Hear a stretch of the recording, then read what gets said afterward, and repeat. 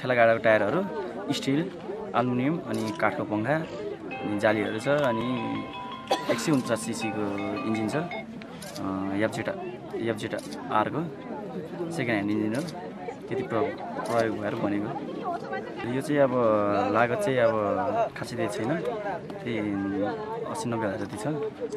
Concept कसरी आयो भन्दा नि अब मैले मिनी मिनी प्लेन बनाइरहेको छु होइन। दुनियाँले आएर भन्ने कि उड्दैन उडाउनु सक्दैन यताउति भन्ने। त्यस कारणले चाहिँ अब यो बनाउनुभन्दा अगाडि चाहिँ केही उडाएर देखाइन्छु नि त विश्वास गर्छ भनेर अनि मैले यो सुरु यो सुरु गरेको। यो चाहिँ लगभग एक महिना जति भयो बनाउनु सुरु गरेको।